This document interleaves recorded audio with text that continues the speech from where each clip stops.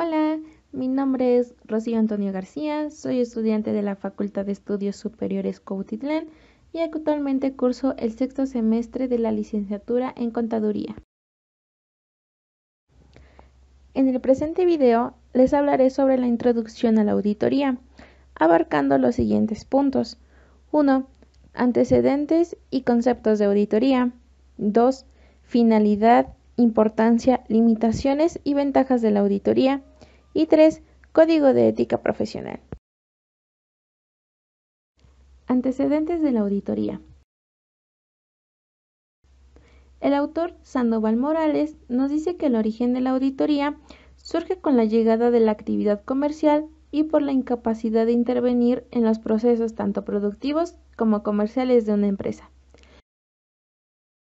Por estas razones, surge la necesidad de buscar personas capacitadas, de preferencia externas, para que desarrollen mecanismos de supervisión, vigilancia y control de los empleados que integran y desempeñan las funciones relativas a la actividad operacional de la empresa. El auditor era considerado como un revisor de cuentas.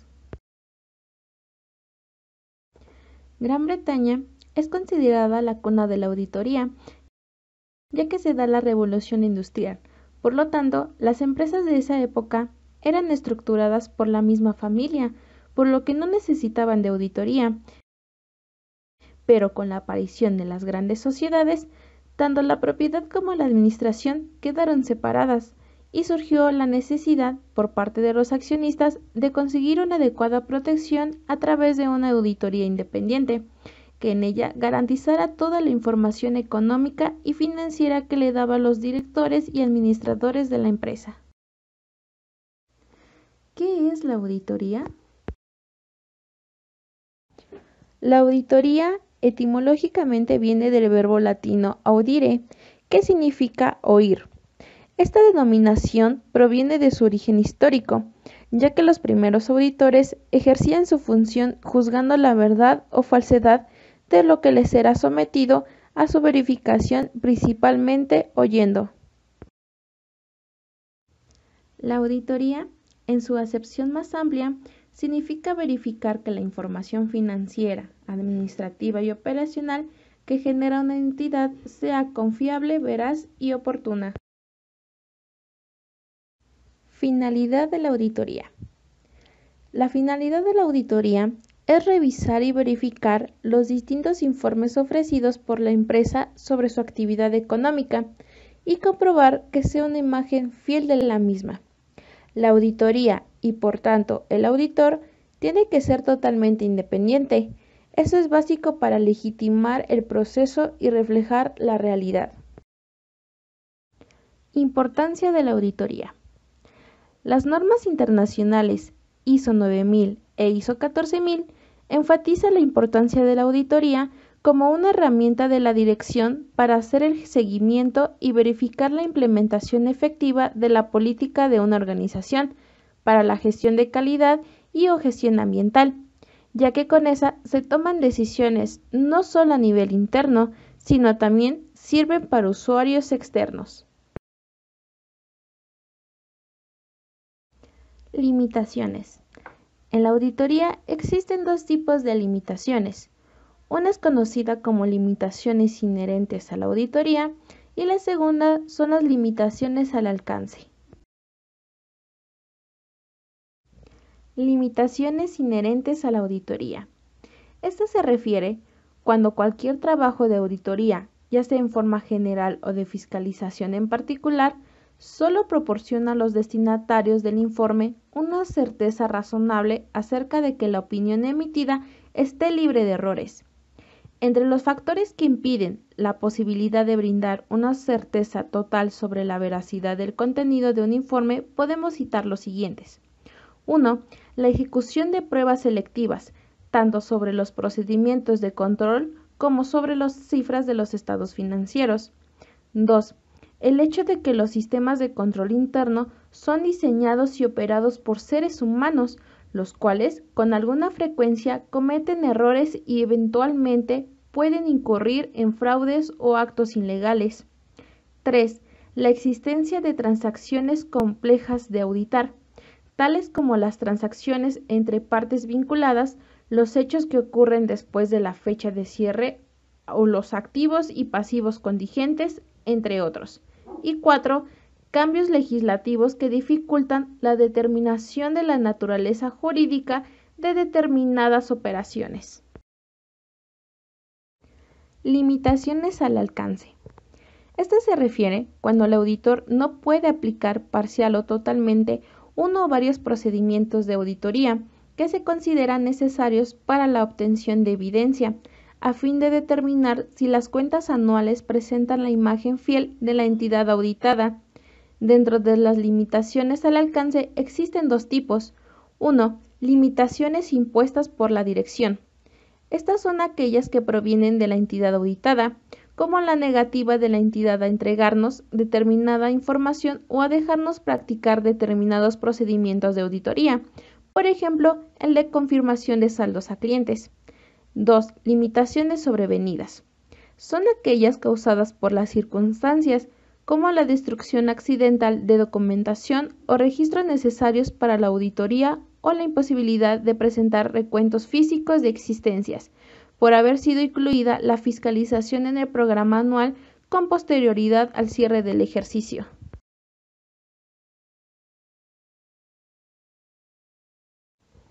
¿Qué es el Código de Ética Profesional? Es un conjunto de normas morales que rigen la conducta de las personas dentro de una organización. Uno de los conjuntos de reglas de la ética aplicada es el Código de Ética Profesional del Instituto Mexicano de Contadores Públicos. Una parte muy importante de la práctica profesional se refiere a la ética que debe observarse. De ahí que el Instituto Mexicano de Contadores Públicos se haya dado la tarea de desarrollar un código de ética que nos permita enfrentar las nuevas tendencias y necesidades, tanto nacionales como internacionales, producto del desarrollo alcanzado por nuestra profesión. El presente Código de Ética Profesional establece las normas éticas mínimas que deben observar los contadores públicos que practiquen en México. Ya que conocemos qué es el Código de Ética, es importante conocer su estructura. Este está conformado por seis elementos. 1. Cumplimiento del código, principios fundamentales y marco conceptual. 2. Contadores públicos en los sectores públicos y privados. 3. Contadores públicos en la práctica independiente. 4. Normas de independencia. 5. Contadores públicos en la docencia. Y 6. Sanciones. Principios fundamentales. De acuerdo al Código de Ética Profesional del Instituto Mexicano de Contadores Públicos, el contador público deberá cumplir los siguientes principios. 1. Integridad. Se refiere que debe ser leal, veraz y honrado en todas las relaciones profesionales y de negocios. 2. Objetividad. Evitar prejuicios, conflictos de interés o influencia indebida de terceros que afecten el juicio profesional o de negocios. 3. Diligencia y competencias profesionales mantener el conocimiento profesional y las habilidades a nivel necesario que aseguren que el cliente o la entidad para la que se esté trabajando reciban los servicios profesionales competentes basados en los últimos avances de la práctica, la legislación y las técnicas y actuar con diligencia y de conformidad con las normas y técnicas profesionales aplicables. 4. Confidencialidad. Respetar la confidencialidad de la información obtenida como resultado de relaciones profesionales o de negocios y por lo tanto no revelar dicha información a terceros sin autorización apropiada y específica, a menos que haya un derecho u obligación legal o profesional de hacerlo, ni usar la información para provecho personal o de terceros. Y 5. Comportamiento profesional. Este debe de cumplir con las leyes y reglamentos relevantes y evitar cualquier acción que desacredite a la profesión. Amenazas. Las amenazas pueden ser creadas por una amplia gama de relaciones y circunstancias. Cuando una relación o circunstancia crea una amenaza, ésta pudiera comprometer o percibirse como que compromete el cumplimiento de los principios fundamentales por parte del contador público. Una relación o circunstancia puede crear más de una amenaza y una amenaza puede afectar el cumplimiento de más de un principio fundamental. Las amenazas se pueden clasificar dentro de uno o más de las siguientes categorías. A. Amenaza de interés personal. B. Amenaza de autorrevisión. C. Amenaza de interceder por el cliente. D. Amenaza de familiaridad. E. Amenaza de intimidación. ¿Qué son las salvaguardas? Son acciones u otras medidas que pueden eliminar las amenazas o reducirlas a un nivel aceptable. Estas se pueden clasificar en dos grandes categorías. 1. Salvaguardas creadas por la profesión, legislación o reglamento, en la cual deben incluir lo siguiente. 1. Requisitos educacionales, de entrenamiento y de experiencia para ejercer la profesión. 2. Requisitos de educación profesional continua.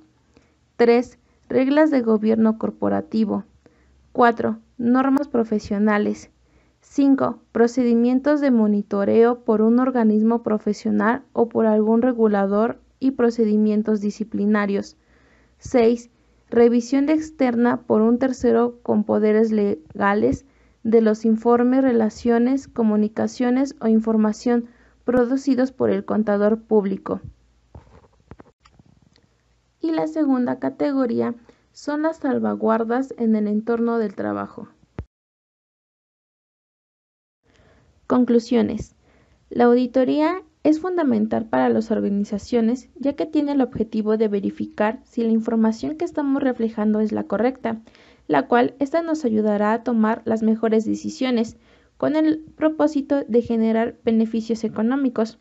Otro punto importante que se abordó en el video es el código de ética profesional. Este es importante para nuestra formación como profesionista, ya que abarca responsabilidades éticos, principios fundamentales y limitaciones que debemos cumplir, todo con la finalidad de obtener las menores amenazas posibles que puedan afectar a la organización. Cuando nosotros como profesionistas cumplimos dicho código, los resultados se reflejan de forma positiva. Por lo tanto, estos dos puntos son indispensables para nuestra formación como auditor.